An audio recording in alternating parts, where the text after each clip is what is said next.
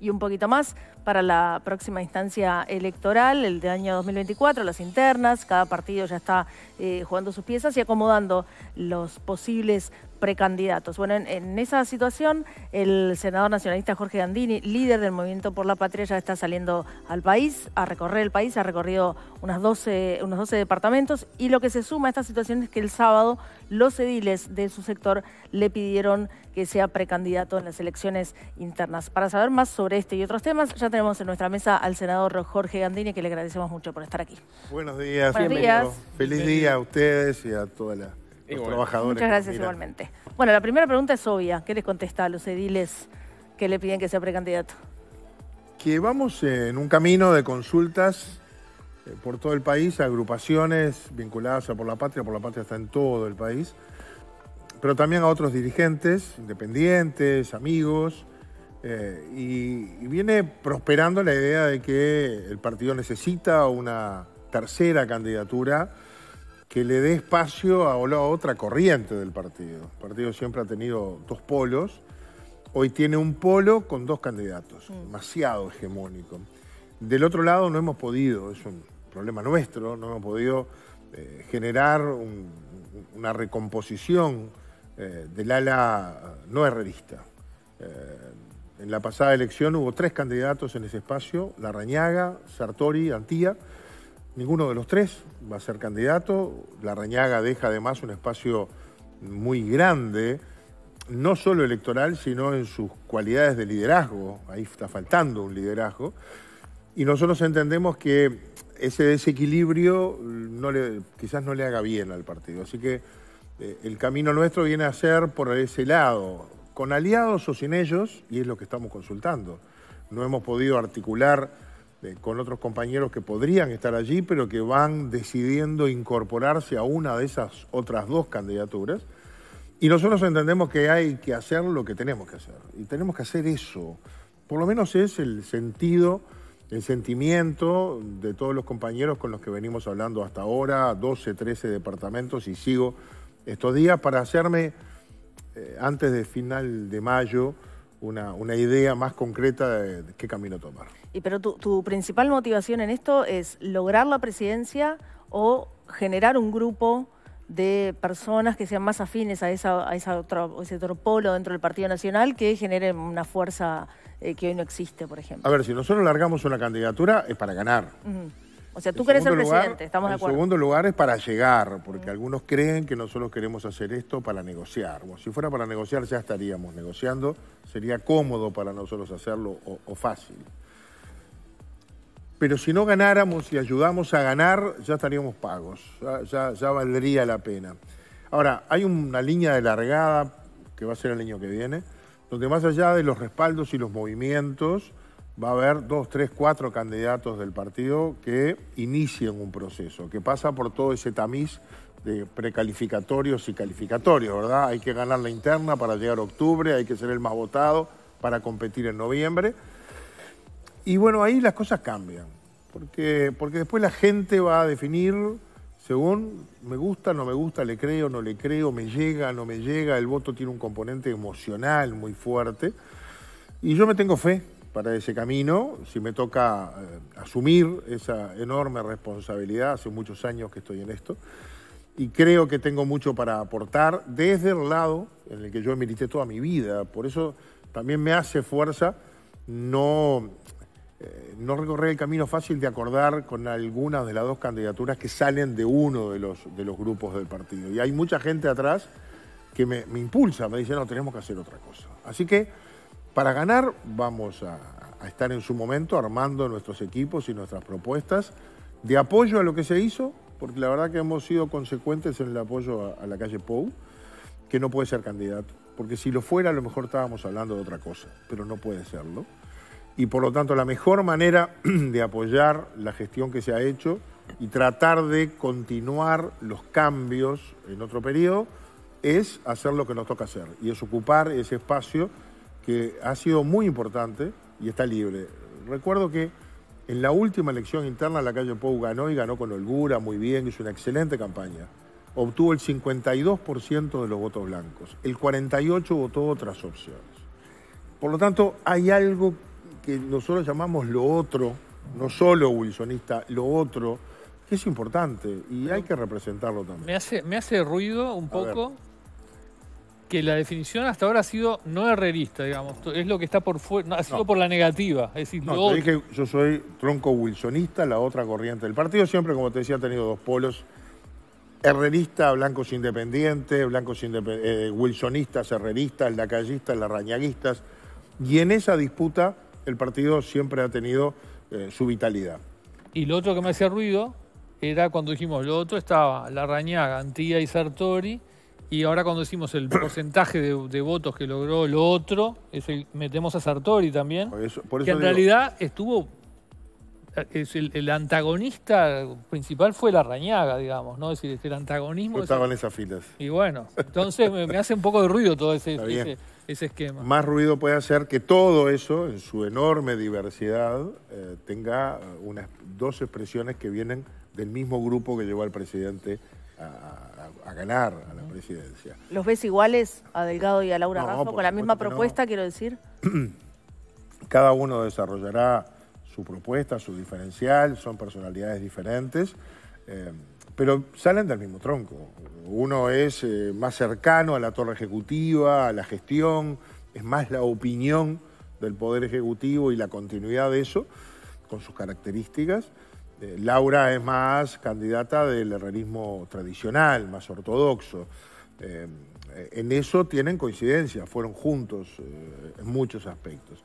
Nosotros somos la minoría del partido, pero tenemos que reconquistar espacios y con eso el partido se hace grande. Es más fácil acordar adentro. El camino que estamos viendo recorrer, obviamente, está más lleno de incertidumbres y dificultades. Por eso mismo es muy blanco y muy lindo recorrerlo. Ahora, para, para ir, para ir pisando, pisando firme, entonces eh, todavía no hay una definición. Esa definición se va a terminar de procesar este, a lo largo de este mes, dijo. Las consultas sí. Bien, y ahí va a estar la decisión. No, después tendremos que hacer un evento, un congreso, algo el mes siguiente para ir definiendo. Los tiempos también a ver, eh, venimos un poco con el freno de mano, ¿no? Que no nos agarre, eh, no meternos, no tirarnos de cabeza sin querer en la campaña, todavía falta mucho. En cualquier momento nos empiezan a preguntar cuáles son las diferencias y cuál es el programa. Y yo creo que hay que trabajar mucho todavía en gobernar y las diferencias dejarlas para el año que viene, que son las que matizan las diferentes candidaturas. Sí, ahí no todos igual tienen los mismos incentivos para eso, ¿no? En el caso de Higado es obvio, tiene cargos de de, gobierno, está ahí procesando este, el, trabajo diario de la torre ejecutiva, no es la misma situación de Laura Raffo y no es su misma situación, que primero está en el Senado, que, tiene una característica distinta, pero además que tiene que marcar que efectivamente quiere correr, y ahí entonces los tiempos son distintos para, para usted que para Delgado, por ejemplo. Sí, el manejo de los tiempos eh, eh, en en épocas de tanta inmediatez es un arte, ¿no? Porque todo se queda viejo rápido, todo se gasta pronto eh, y las recomendaciones son campañas cortas. Así que si uno larga ya, tiene que ver qué hace durante todo este, todo este tiempo. ¿Y qué valoración, perdón Nico, vas a consultar una cosa más? Eh, me quedaba pensando en, cuando usted define lo otros, que si uno mira las estructuras que están por debajo de cada una de las candidaturas, que empiezan a delinearse, todavía no están muy definidas, es verdad, Laura Raffo este, parece que tiene como principal soporte el herrerismo, Delgado es como la, persona... El aire fresco. Eh, sí, viene de, aire fresco, es la persona cercana al, presidente, por lo menos en el trabajo diario. Ahora, también se le está arrimando mucha gente y quizás el, equipo, o sea, la mesa chica de los que trabajaban con, con Jorge Larrañaga, ¿no? Entonces ahí también hay una discusión en torno a, bueno, ¿qué, es Alianza Nacional hoy? Es verdad, Alianza Nacional todavía no tomó una definición eh, como tal, pero los que estaban con la Rañaga, o gran parte del equipo que estaba con la Rañaga en el, en el trabajo este, político, ya marcaron sus posiciones este, de apoyo a Delgado. Con la Rañaga estaba Alianza Nacional y Por la Patria. Por la Patria está acá. Alianza Nacional está tomando... Por, la patria había empezado un camino desde el INDE de la Rañaga antes de que... Pero lo acompañamos, ¿verdad? Sí, sí, la última elección seguro. Refundamos en el 17 y trabajamos con, Jorge Larrañaga en la reforma constitucional muy fuerte, Vivir sin Miedo, y en su candidatura, la que apoyamos, y fuimos juntos en un Senado. Eh, Alianza Nacional está discutiendo qué hace. Algunos ya tomaron un camino y se arrimaron a la Torre Ejecutiva. Otros están discutiéndolo, pero su discusión es o, Delgado o Laura Rafa. Al final, eh, toman un espacio que no es el que uno hubiera esperado iba a tomar Jorge Larrañaga, que siempre tuvo personalidad propia, camino propio, pero Alianza, que sin ese líder, ha resuelto no tener candidato propio, por lo tanto tiene que optar por otro y está en ese debate natural y lógico, nosotros tomamos otro. Con, toda la dificultad que supone interpretar a alguien que no está, ¿usted cree que la Reñaga no hubiese seguido un camino como quienes siguieron los seguidores de... No lo sé. Lo que sé es que antes siempre buscó un camino propio del 2004 para adelante cuando jugó el Partido Nacional. ¿Y qué valoración política o proyección le ubica usted a Beatriz Argimón, que sin duda es una de las figuras políticas que más cerca se se pone de los valores wilsonistas dentro del Partido Nacional. Hablamos mucho con Beatriz, estamos en ese proceso, es de los pocos dirigentes que, queda eh, en ese espacio y ojalá podamos encontrar un, acuerdo, porque las opciones son esas, o Beatriz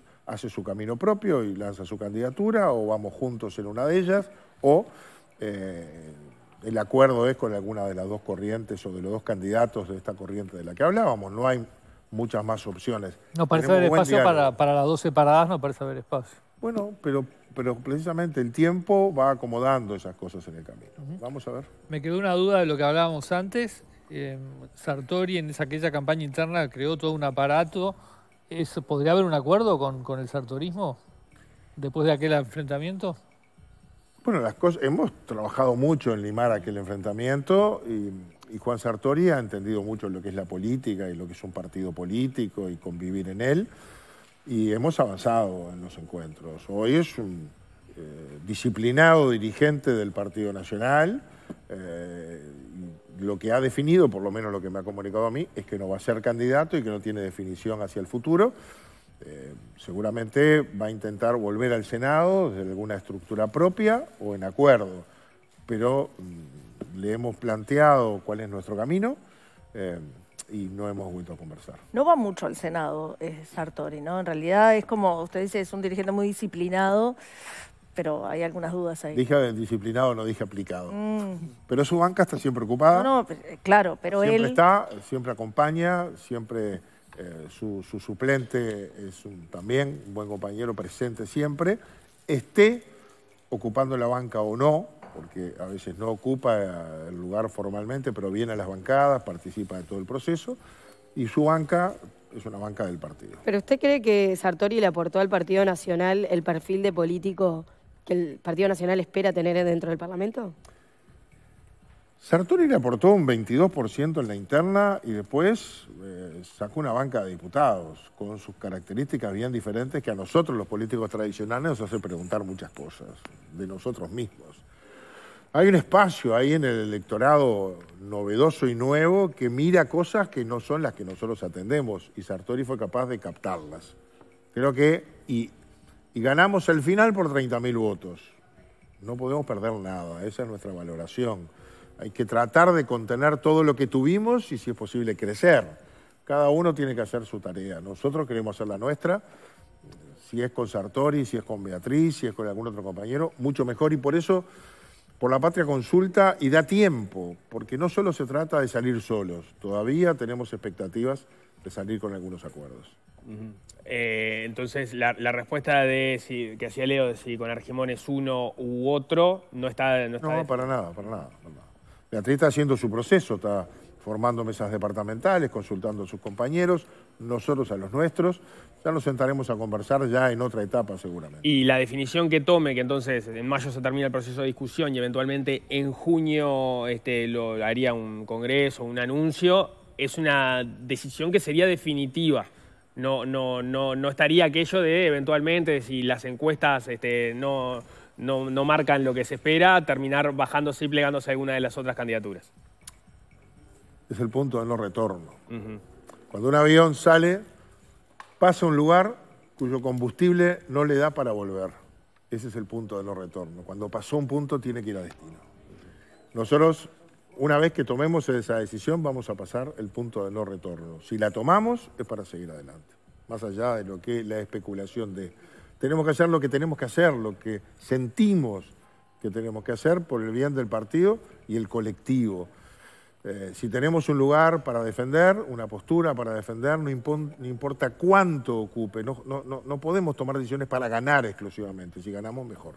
Pero eh, me parece que tenemos que cumplir con nuestra obligación dentro del partido, porque el partido tiene que representar a la mayor cantidad de blancos, de nacionalistas en la interna. Y me parece que nosotros representamos a algunos que no se verían representados para militar contentos y activos en las otras opciones. ¿Sabe que hay una cosa que a mí me llama mucho la atención y es em, el uso que se le dio a la figura de Wilson dentro del Partido Nacional después de que muere? Estamos hablando de unos políticos a nivel nacional que tenían una profunda aceptación, un, un caudal e-, electoral muy grande y sin embargo el wilsonismo después de que muere Wilson, nunca pudo capitalizarlo de la manera de sacar el mayor potencial que tenía esta enorme figura a nivel nacional, ni para ganarle al herrerismo y por consiguiente tampoco para ganar una elección. Por lo tanto, hay una autocrítica sobre eh, mm, cómo se pudo potenciar más a nivel electoral una figura tan importante como Wilson que no se hizo. Es todo un tema eh, Wilson muere en marzo, 15 de marzo del 88, las elecciones fueron en el 89, Wilson tenía 21 diputados, 6 senadores, la militancia, la mística, era imponente aquello. Un año y poco después de su muerte quedamos con un senador y un diputado, pero ganamos la presidencia de la República, la ganó la calle Herrera, que capitalizó el posicionamiento que Wilson hizo del partido y fue el liderazgo sustituto más allá que no era de su propio sector son cosas bien curiosas que hay que analizar. Eh, en aquel momento yo me hacía la pregunta, me acuerdo, yo era muy joven, y me preguntaba, decía, ¿pero qué pasó? En un año los wilsonistas hicieron lacayistas, hicieron guerreristas, pero no es lo que la gente razona. Vio, vio que el partido estaba maduro y pronto para gobernar y vio que la persona que ocupaba ese lugar con las características del líder para hacerlo era la calle y votó la calle. Después surge... Pero quedó como evaluado, ¿no? Porque quedó como devaluado ese uso. O, al revés, era tan grande, tan grande que cualquiera que se le arrimaba lo comparabas y estaba muerto. Pobre Sumarán, lo adoré, milité con él y estuve con él en esa elección donde nos fue muy mal, no sacamos ni un diputado en Montevideo, ni uno. El diputado fue Juan Raúl, por su blema. Nosotros yo iba con lo que era la estructura tradicional de Por la Patria. Eh, pero claro, la gente lo comparaba con Wilson, tenía, tenía e, ese drama y claro, nadie pasaba ese examen. Entonces, a la calle no lo comparaban con Wilson porque venía del otro lado, eh, lo comparaban con sí mismo. Eh, son procesos que se dan, pasó el tiempo, el herrerismo también, después que se muere Herrera, el herrerismo pierde siempre, hasta la calle y, el wilsonismo hasta la rañaga. ¿Eh? El Partido Nacional perdía, perdía. Perdía, pero adentro del partido las figuras no procedían de ahí. Eh, de hecho, Wilson lanza su candidatura en el 71 cuando logra la incorporación de importantes herreristas, es decir, cuando logra la incorporación de Santoro, de Ortiz, del Toba, Gutiérrez Ruiz, decide ser candidato. Eran los herreristas con los que acordó. Eh, tiempo después de que muere Wilson, surge la figura de Jorge Larrañaga, que viene de ese tronco, y, saca el 35% de los votos, el 35% en el 2004. Gana la interna primero, se la gana a la calle, y saca el 35%, nunca más volvimos a sacar el 35%. Le tocó competir con Tabaré Vázquez en el 2004, después de la crisis del 2002, y, tuvo una performance electoral magnífica. Eh, luego eso se fue eh, deteriorando, el partido pierde hasta que resurge la figura de la calle Pou, que incorpora gente que venía de la corriente de, Wilson. O sea, el partido también se va nutriendo de esas dos corrientes.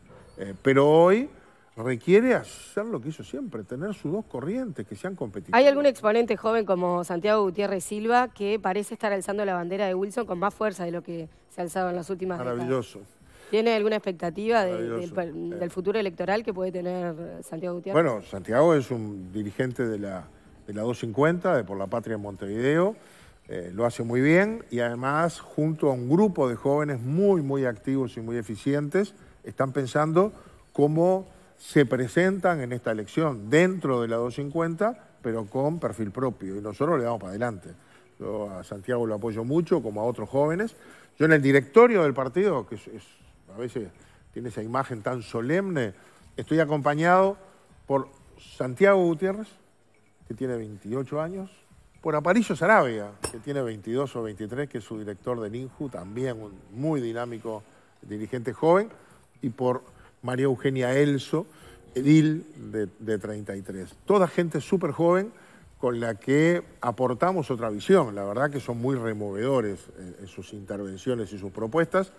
Santiago está elaborando una para el 20 de mayo, que es una fecha complicada para el partido, porque es la fecha en que asesinaron al Toba y a, y a Michelini, junto a otros dos uruguayos, pero también es la fecha en la que se hace la marcha de los desaparecidos, fecha en la que tensionamos posturas con la izquierda, eh, aunque compartimos una parte. Y, Santiago tiene un rol dentro de nuestro grupo para esas tareas. Eh, yo creo que hay que promover esta gente joven que nos supera a nosotros este, en algunas visiones que nos cuesta mucho a veces aprender. Yo me quedo pensando en, el, en, en, en, ese, bueno, no sé, cataclismo que tuvo por la patria, que como decía, no, no llegó a, a un diputado en la elección. Un sí, diputado. Sí. A un diputado. Y no puedo, y, y, han estado eh, sobrevolando los temas históricos ahora de vuelta con esto del 20 de mayo. Creo que estuvo ahí el, el parteaguas de la ley de caducidad, ¿no? Estuvo. Que bueno, que, que, el, que el, el, votante de Wilson no mucho no lo entendió, ¿no? Es así.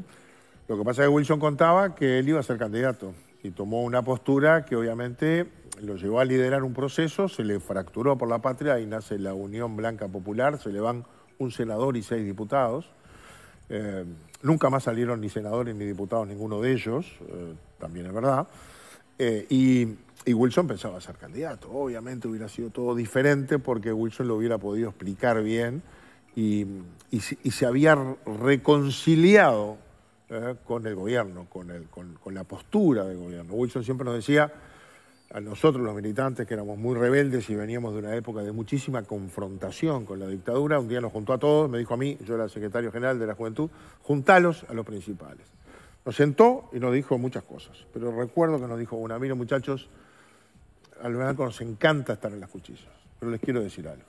Desde la oposición se puede, uno se puede, se puede impedir se puede proponer, se puede condicionar, eh, hasta se puede eh, conseguir algo. Pero para cambiar el país hay que ganar. Cambia la cabeza, tenemos que ganar. Y puso al partido a ganar. Eh, obviamente, él pensaba que iba a ser ese candidato que yo creo que ganaba, ganó la calle, hubiera ganado él y todo hubiera sido distinto. No pudo, no pudo ser así y la ley de caducidad que además se, plebiscitó después de que Wilson muere, ¿eh? hace, hace un quiebre en mucha militancia de donde yo venía, que era de la militancia gremial y social. La Secretaría de Asuntos Sociales, que era un germinador enorme, eh, se quebró. Ahí hubo mucho militante sindical, social, estudiantil que se nos fue. Esa es la verdad. Wilson no estaba, no pudo retener. Y hoy el partido en, en, ese, en esos ámbitos tiene poca presencia. Poca, poca presencia. Poca presencia y es un tema no menor en la interna del partido, nuestro vínculo con el movimiento social y es una de las diferencias importantes entre realismo, wilsonismo, gobierno y nuestra visión. ¿Qué hubiera sido tan distinto si hubiera ganado Wilson y no en la calle Herrera? Ah, muy difícil de hacerte... Este... Te digo porque recién lo dijiste, entonces. Sí, bueno, hablando con, con, la ley de caducidad, eh, yo creo que hubiera sido muy distinto lo que hubiera pasado después porque la ley de caducidad dejaba algunas puertas abiertas la aplicación del que las 4. había dejado abiertas. Lo que, lo que aplicó el expresidente Tabaré Vázquez, por ejemplo. Capaz. Capaz con otra visión y con otra autoridad para hacerlo. Ahora, Wilson era un hombre que tenía como idea central remover las estructuras y tenía un liderazgo que era capaz de cuestionar los status quo vigentes entendidos como sólidos e inamovibles, y él iba, era capaz de ir contra ellos. Creo que la visión de desarrollo hubiera sido muy diferente a la que llevó el partido en ese momento. Pero bueno, no me quejo de aquel gobierno.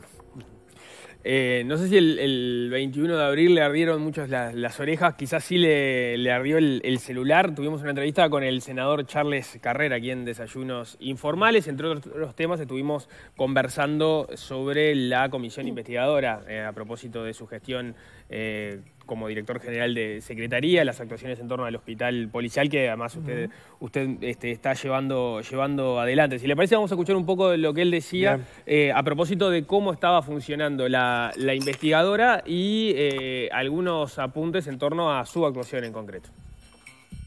Porque el ministro del Interior en julio del año pasado ya hizo una opción de en qué, en qué sistema se va a discutir esto porque hizo una denuncia penal. y cuando se hace una denuncia penal, por eso es que nosotros reconocemos la inexistencia de esta comisión investigadora, a la cual ya les aviso que no pienso concurrir, le estoy dando una premisa, no voy a concurrir.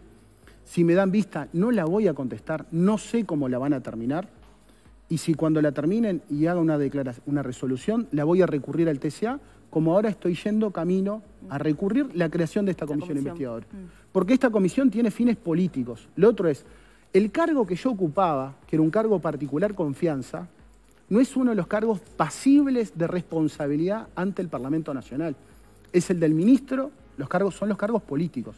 ¿Qué razón tiene que ser una comisión investigadora? Si ya está en la justicia, de perseguirme, de, amedrentarme, ese es el objetivo.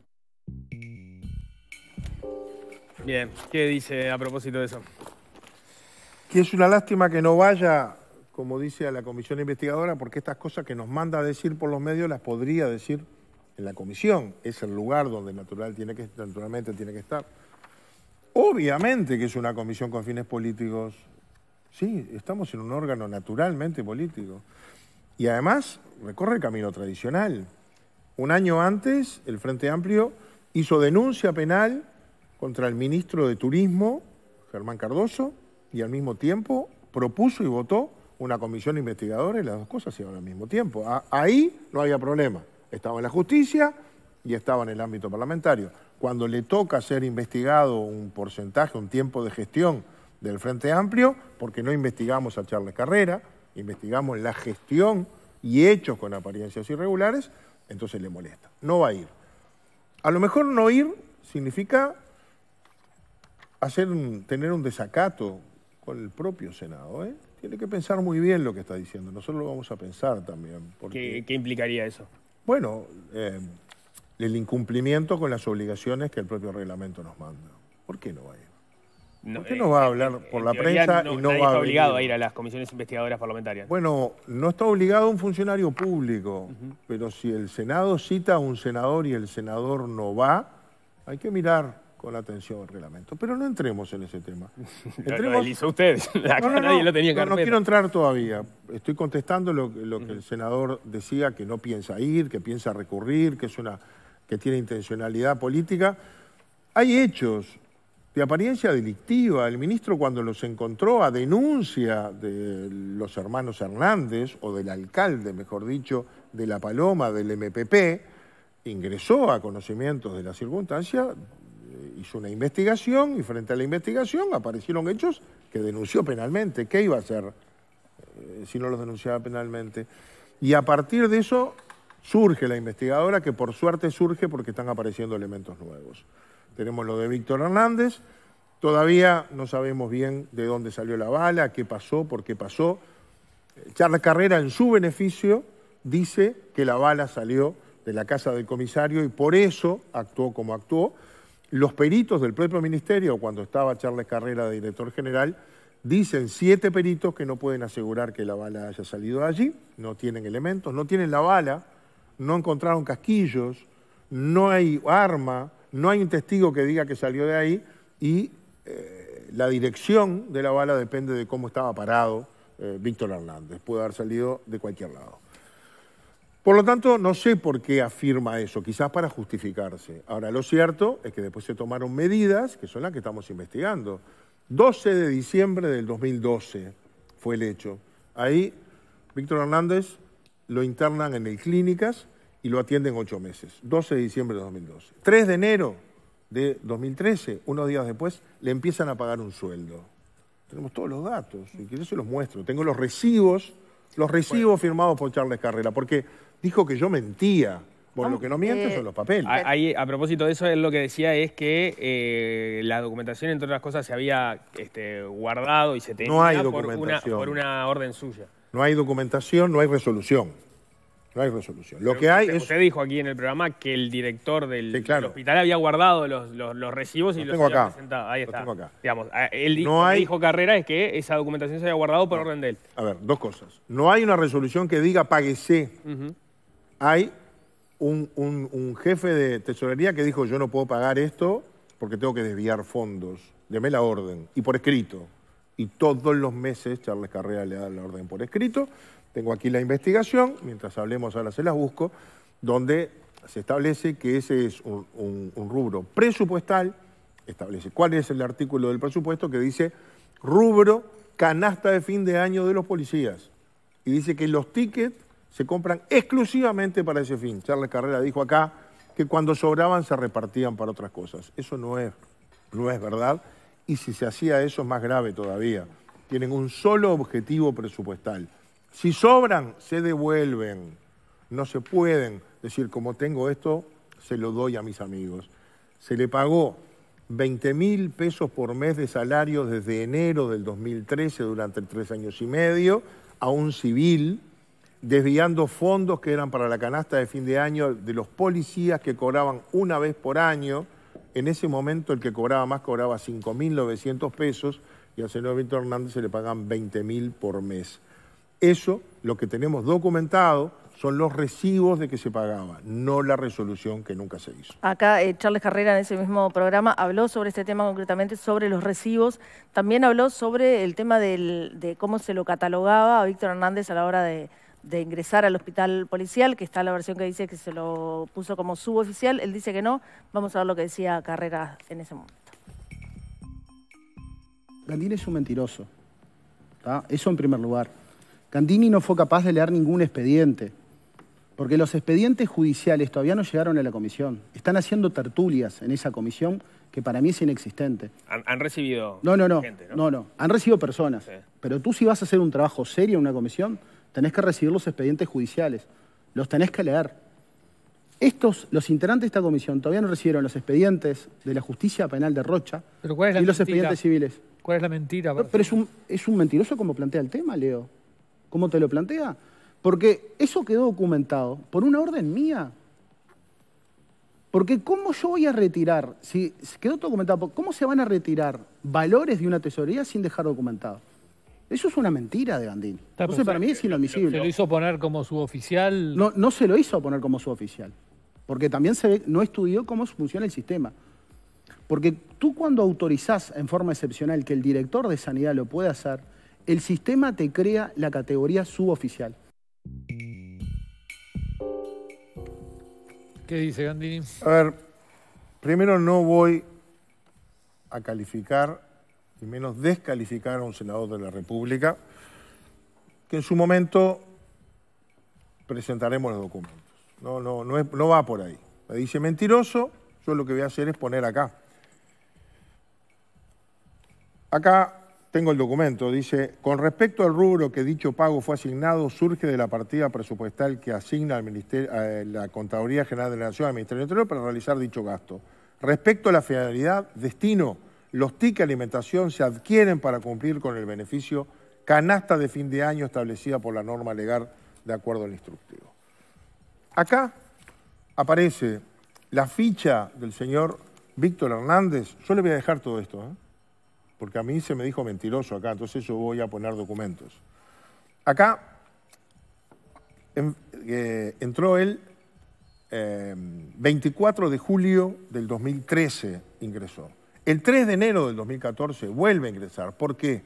Porque para Navidad lo mandaron para la casa a La Paloma, a él y a su hermano en un vehículo oficial para que pasaran La Paloma. Vuelve el 23, el, perdón, el 3 de enero del 2014. Y ahí ingresa, recién ahí, como oficial subayudante. Todo el tiempo anterior estuvo sin registro. Y de esto tenemos todas las pruebas aquí. O sea, entró, punto. Esto nos lo dijo el doctor Anzalone, está en la versión taquigráfica, era el director de Sanidad. Hubiera sido bárbaro que algún frente amplista estuviera en la comisión para preguntarle, pero Charles Carrera no tiene quien lo defienda. Las tres sillas del Frente Amplio están vacías. El doctor Anzalone dijo, me resistí a la internación porque no corresponde. Recibí orden directa del director general para internarlo. Estas internaciones, que hay que autorizarlas, son por periodos breves. Cada tres o cuatro meses reiteraba que no podía estar internado allí él y su hermano y todas las veces se me dijo que tenía que seguir internado. Acá tengo oficial, su ayudante, pero en la anterior no está. Ahora, nos ponemos a investigar todo esto y encontramos que no, no fue ni el primero ni el único el señor Víctor Hernández. Un civil que nada tenía que ver con el ministerio, que recibió durante tres años y medio internación gratuita, hasta de los ojos lo operaron, él, su hermano, el servicio de hotelería, eh, y además se le pagó durante tres años y medio un salario equivalente al de un agente. Nos empezamos a encontrar que esta era una práctica en el entorno del ministro Bonomi. Y la primera persona que usó esto, también me dijo mentiroso, fue la esposa, la esposa del senador Charles Carrera. Y no es verdad que utilizó esto en la puerta de emergencia. Lo utilizó durante dos años. Acá yo tengo todo el expediente. Sobre esto también ahora hay denuncia penal. Y mire cómo registraron. Acá tengo la carátula de la historia clínica. La historia clínica no la tenemos, pero la carátula sí. Y la registran como Epifanios Puente de Carrera. Mi mamá firmaba así hace 60 años con el apellido del marido. Nadie se registra así. ¿Sabe por qué registran así? Para que sepa que es la mujer del jefe. La, duda que se me genera sobre, sobre esos puntos que usted señala es si lo que estaba de fondo no era una diferencia de interpretación respecto en, el gobierno anterior de que efectivamente los eh, familiares de eh, los funcionarios y de los dirigentes o los directores del, ministerio podían efectivamente atenderse. No hay problema, no hay ninguna interpretación, ninguna posibilidad de interpretación, pero además eh, Jorge Vázquez, que era su secretario, nunca interpretó eso, ni él, ni sus secretarios, ni sus amigos. Parecería que Bonomi sí. Bonomi sí, la esposa de Bonomi también, que era diputada, tenemos acá, el otro día nos lo confirmaron, nos lo confirmó el director del hospital en ese momento y, el director de sanidad de ese momento. Pero la directora del hospital en comisión dijeron, le dijimos a la señora Susana Pereira que ella no podía usar el hospital y nos dijo que lo iba a usar igual.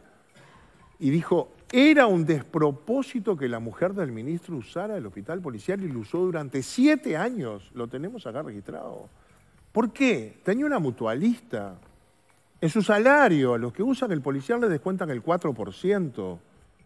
A los demás, Charles Carrera, el ministro, todos los que aquí lo usaron, les descuentan FONASA y eligen un prestador público o privado. Y todos ellos tenían un prestador privado.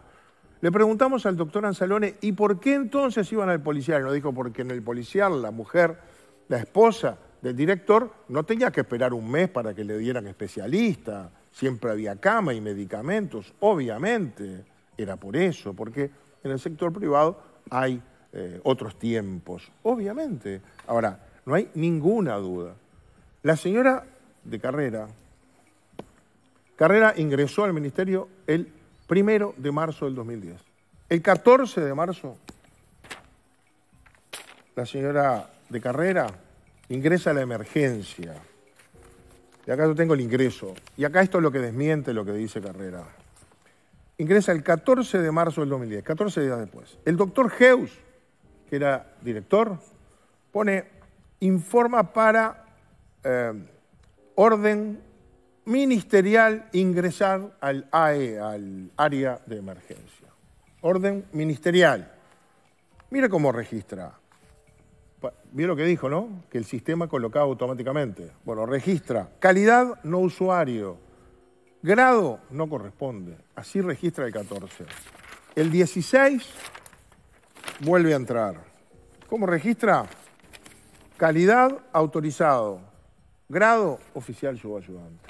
Esto es una falsificación ideológica que alguien hizo de un documento público donde se le da carácter como se le dio a Víctor Hernández, pero esto fue antes, de policía a una persona que no es. Si fuera policía, no hay que autorizarlo, entra. Se lo autoriza porque no lo es y se le da grado policial para que circule. Esta es la verdad, la que está en los papeles. ¿Qué quiere que le diga? Gandini, tenemos que, cerrar, pero me queda una pregunta bastante obvia y es acerca del caso eh, del senador Gustavo Penadez. Eh, a fines de marzo tú saliste públicamente a respaldarlo. Lo que quiero preguntarte es si, si sostenés esa, esa postura, digamos, pública y qué es lo que te llevó a hacerla. A que vivo en un país donde rige el Estado de Derecho y sigue siendo inocente toda persona hasta que se demuestre lo contrario. Penadez es una persona a la que conozco hace muchos años, merece todo mi respeto, es un muy buen legislador, ha dedicado su vida a, la tarea partidaria y sobre todo institucional. Él dijo ante la prensa y nos dijo en la bancada, todo lo que se dice de mí es mentira. Yo tengo que darle la oportunidad de creerle. También nos dijo, el día que me cite un fiscal, pido licencia. Y si hay algo más, voy a renunciar a la banca. ¿Qué más puedo hacer que decir, creo en la palabra de Penades en la que he creído siempre yo, mi partido y la oposición, ¿eh? porque es el gran negociador y, y, las negociaciones en el Parlamento no se hacen bajo firma, se hacen bajo palabra. Reúne el respeto de todos. Yo le doy la oportunidad. ¿Y qué opinión le merece? ¿Cómo? ¿Qué opinión le merece las denuncias que ya han sido constatadas? ¿Cuáles? No las, no, las tengo claras. Bueno, hubo una que fue a través del consultorio jurídico del no, No, yo eh, lo que escuché de Juan Raúl Williman fue que no hubo, hubo consultas en el instituto y dijo, no hay denuncias, hay personas que fueron citadas por la fiscal que está haciendo una labor de oficio. Si alguien de los citados nombró a otro, la fiscal cita a esa persona. Pero aún no hay denuncias, dijo. Bueno, y estos testimonios que trascendieron, ¿qué, qué opiniones generan?